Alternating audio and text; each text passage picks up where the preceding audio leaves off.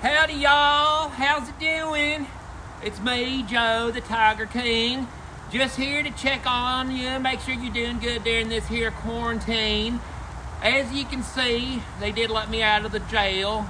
And I ain't forget about that bitch! But since uh, we're out here now and uh, I just wanted to show you we got something special. Just got a new cub in today, so come on over here and look at this little one we got here. Okay, we ain't gave her a name yet. We're thinking maybe Pickles. Come on, come on out, come on. Oh, you can see these creatures are very sweet.